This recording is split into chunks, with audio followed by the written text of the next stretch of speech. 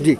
Actually पूरे बिहार के आयुष चिकित्सक 15 तारीख से स्ट्राइक पे हैं, क्योंकि हमारी जो सैलरी थी, वो बढ़ा के घटा दी गई है। ये बहुत ही अपमानजनक बात है।